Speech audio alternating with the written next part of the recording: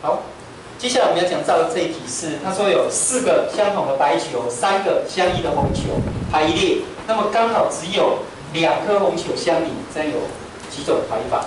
好，那既然它三颗相异的红球刚好只有两颗，所以我们先从三颗选两颗，好，三颗球先选两，好，三颗红球先选两颗，然后呢，另外一颗红球分开。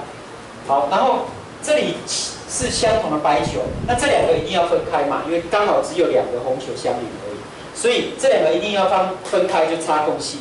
好，放在这些白球中间，那都是白球，排法就只有一种，相同的白球排法一种。好，排进去以后，这里会有五个空格，这五个空格把这两组排进去，第一组会有五个选择。好，所以。C 三取二，先分好以后，这个排进来五个选择，再来这个排进去有四个选择。可是你排进来以后，如果这个排在这里好了，排在这里，这两个还可以对调，所以再乘一个对接。好，那这样算一算就是答案。